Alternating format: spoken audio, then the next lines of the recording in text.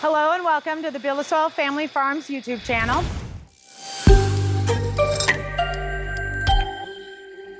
I've been gone a while. We took a little bit of a vacation and so I'm finally getting back to you guys. I really wanted to make another video and talk to you today a little bit about some of the products that we've been using over the summer. We've been producing so much, it's crazy. And we, we sell out every weekend. It's been so wonderful seeing our community enjoy the fruits of our labor. As you can probably see behind me, we're just packing some weight still. It's the end of August and uh, usually things want to slow down by now, but uh, the bees and our soil and the weather has just really promoted a lot of growth here in the greenhouse. So we're having a really good year. It's been really awesome to share that. I give away tomatoes to literally anybody I can. Our cucumbers have been doing really well. The pickling cucumbers started to slow down and we had crazy growth while I was on vacation and they got so entangled. I wanted some space for my slicing so we took those down but they were still very productive, but just grew way too much in the three weeks that I was gone. So it's been a little bit nice not having that. I wanted to talk to you a little bit about some of the products that we've been using here at the greenhouse at the farm all summer long. And not just this summer, but over my, all my years of growing. And I really wanted to share them with you because I think that no matter who you are, no matter how you garden, some of these uh, things could be beneficial to you. I'm very grateful that if there's something on discount or damaged over at Build a Soil, I get to snag it, try it out, find some of the things that I really love. I ran a, uh, a grow here in Colorado a few years back. We had 40 moms and we took 1,500 clones every three to four weeks. It was really cool because I'd get to come home, talk to Jeremy, kind of tell him what's going on, test out different products, and find what I really loved and ended up trusting in the end. So that's so not only are these like some of the top selling products over at Build a Soil, they're the ones that work. So I I think that you could find they can be cost effective too because I've had with the Build a Soil way of growing, living organic, no-till soil, you're building your soil all the time. It gets better and better every year. So I actually don't have to use many of these things more than once or twice during the growing season. I've got here Thermx, so I'm sure you guys have heard me talk about it over the years. It has been my go-to product for emulsification. So I've always used this. It's been like the one thing that I've always used. I have this big five gallon bucket because I know I'm gonna use it all the time. I'm sorry, that's not five gallon, but whatever it is. If you don't know what Thermx is, it comes from the yucca plant. It's a saponin product. It's basically an, a soap.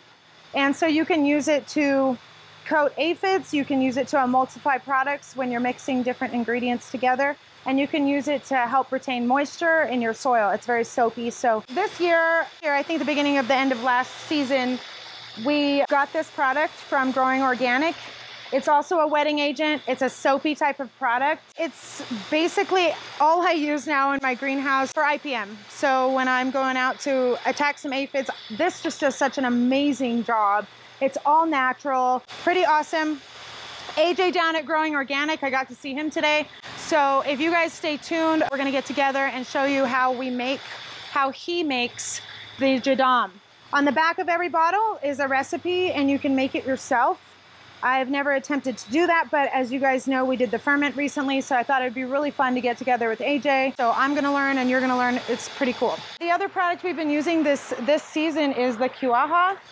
Uh, J Plant Speaker, great product here. It's super water soluble, really soapy. So if you're filling up anything, uh, you better watch it. It's just like bubbles going everywhere. But in my uh, seedling stage of the season, during transplanting and up potting all the plants you see here in the greenhouse, uh, this was my go-to for retaining moisture in such little cells. You don't need much of it, so it was really, really awesome to be able to use it and see how well it works. Let me get into Rootwise because this, since I was running the grow, this is my absolute favorite product. Not only is Kevin like a really good friend of ours, he's a great person, a lot of passion for growing. I've used this product so many times. It's like there's no other microbial product that I would ever use. I have and never ever have I seen results like I do when I use Rootwise. So when I plant my seeds at the beginning of the year, whether they're going to the market, in the greenhouse, whatever, as soon as they sprout, I'm throwing on some Rootwise. It's like the first thing I do. If I up pot, I use Rootwise. As soon as we transplant, I, I use Rootwise. And so most of the time I'm just dipping whatever I'm transplanting in that and then moving it along. On our Instagram, I posted recently a couple pictures of some lettuce heads that were going out in the field with the most beautiful, amazing, healthy roots. And so what this product does is really going to help the roots take up the nutrients that are coming from the soil.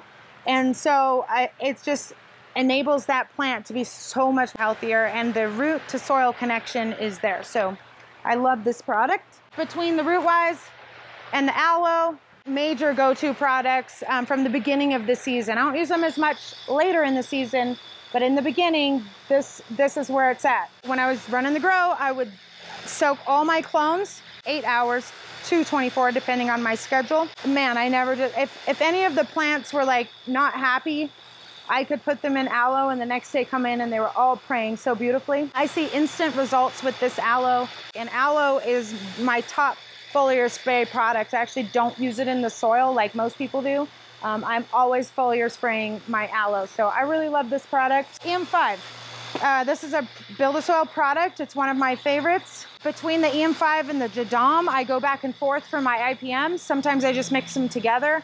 I do whatever it takes. But um, I've seen powdery mildew before be totally eradicated with this. It did wonders. So I absolutely really love the, the EM5. I foliar spray this one. It's just mixes in with your water so well. Uh, has a really great smell. There's lots of essential oils. It does just a really good job. So I'll be rotating products and this is one of them. So let, just real quick, I want to talk about like my main nitrogen sources. So these are also really good friends of ours, the owners down there at Colorado Worm Company. Jen and Alex, they're so great, really kind hearted people. They work really hard to bring you top quality worm castings. So as soon as I transplant anything into the greenhouse or out in the field, it gets a nice big handful of worm castings and uh, they have that immediate nitrogen source once the roots start to explore where they're at. This is another nitrogen source. Between the Thrive N Bloom, I used just Thrive N, not their Bloom formula, for a really long time um, for nitrogen. Loved it. I, I've said this before, but what I love is products that give you immediate results. And so if I can come in the next day, next two, three days and see results, I just like am in love with whatever product that is. So Thrive and Bloom is a really great product. This is on buildasoil.com. This one I just started using this year. I'm pretty lucky to have a decent amount that I don't exactly know how I ended up with it, but I'm really glad I did. I get a lot of products from Build a Soil, and sometimes it's like a special treat because it's something that we wouldn't want to spend money on and so I want to use it, but I don't. So whenever I get the chance, I'm pretty excited. We mix a really strong dose in the chapin, and then we walk down the aisles and feed it in. It's wonderful. I see immediate results from this as well.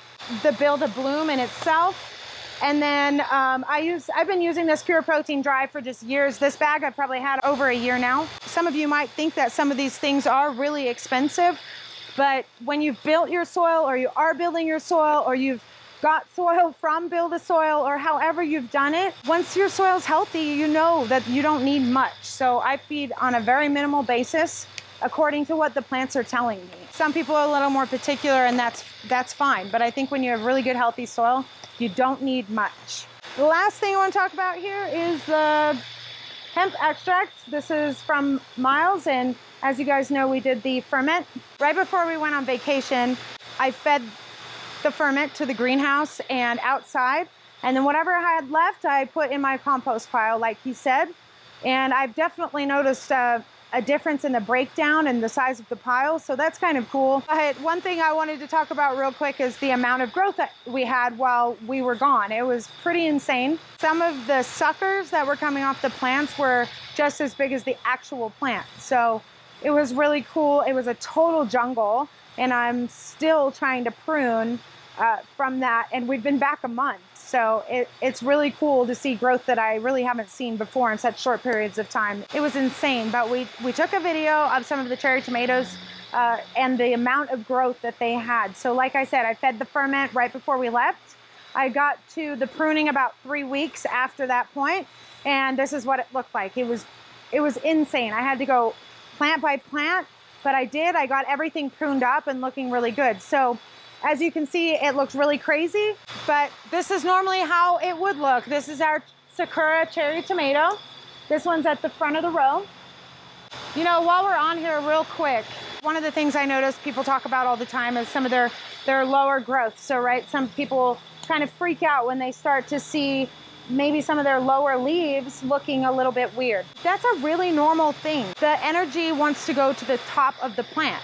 And you're here, especially at Build a Soil Family Farms, the way that we grow, we're always trying to push growth upward, not downward. So it's very normal to see some wilty, maybe brown leaves on the bottom. If my whole plant was looking brown and crispy or, or like this, I would definitely have some concerns. And then like I would go to some of my go-to products, probably aloe, maybe give worm castings. Um, I would try a few different things over the, the week, but in the end, if I couldn't figure it out, I would end up taking it down. I wouldn't want something to happen to the rest of my grow. If a whole row was looking crazy, then I would definitely have some major concerns and start addressing my soil, maybe do a soil test. But um, everything in the greenhouse here grows really, really well, and I'm grateful for that. One thing I wanted to talk about, we'll do it real quickly. I know we went over cucumbers before. I haven't done an official video on uh, tomato plants, but as you can see, we've been clipping it all the way up to the top. We've dropped the string so you can see our stalk is kind of actually, all, it's planted all the way back there. It's okay when your plants are, like I said, if you have a few leaves on the bottom, take them off if you don't like the way they look. I'm definitely somebody who likes to come through and prune. I can just go ahead real quick, snip them off. With tomatoes here, you can always go to your fruit. So I could technically prune this one all the way up to here. We have our main stem. We have a leaf, which is what I've been cutting off. And then we have the sucker. So as you can see this, we have one here. I've got one here, one here, and then I've got a pretty major one right here. I'm just clipping my main stem, so I like to take these suckers off. This promotes top growth. We don't want those. This is basically gonna grow just another tomato plant. And, and as I said, we want all our energy going up that way. So I just get rid of them. Oh no, I almost cut my string. It's kind of like twofold. I'll go through and do this and prune them and clip them all up and all it is is promoting top growth. So then like a week later, they've grown like two more feet. So it's uh, you just keep going and going. That's pretty much it with these tomato plants. I wanted to show you guys our peppers that we've been growing. Um, I'm really excited about these because peppers take forever. They, they bring in tons of aphids. We've been doing really, really well. That Jadam that I talked about earlier has been my absolute best friend in this process. We spray three days a week. We use our Grow King sprayer. If we're just doing target spraying, then I will bring the Chapin and we focus on the middle of these pepper plants here. That's really where the aphids like to sit. Then another product I just talked about was uh, Build a Soil Bloom product. I've been feeding those once every two weeks uh, once they started to have some flowers. So when I fed the last time was two weeks ago, and all these plants were below this trellis. I think they were about right here. It's an amazing amount of growth that I've got over the last three weeks. We have tons and tons of flowers. They're looking really beautiful. The bees are loving it. They're coming through and pollinating.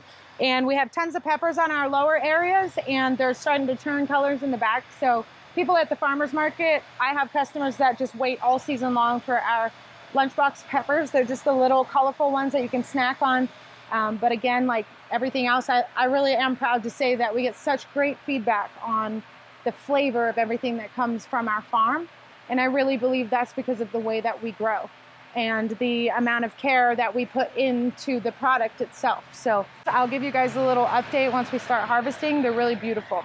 I know we've been out of touch and I really wanted to pop on here today and make a little video just to talk about some of the things, you know, show off the greenhouse a little bit, and, you know, I get a lot of questions about some of the products that we use. These products in particular, they work. And it's been a, while since I've made a video. So I was really excited to do this today and get back on. And I'm sure as many of you know, if you have a greenhouse or maybe a market farm, it's a really tight budget that we're on. I don't get to just use tons and tons of products. So I definitely go with products that I don't have to use all the product at one time and like I said, a lot of this has lasted me a really long time. We've worked really hard to build our soil. We like to not be spending thousands and thousands of dollars. So I just wanted to share that. Thank you so much for being here today. I was really happy to get to share the products, the greenhouse, give you a little update, show you my peppers. You can subscribe below. Leave any comments and questions. I definitely love to read through the comments and questions. Stay tuned for the episode with Growing Organic. I'm really excited for that. I'm really excited to share with you how you can make one of my favorite products at home. I'm really, I, have so many questions for him and I'll be excited to share that. Thanks for watching and we'll see you on the next episode.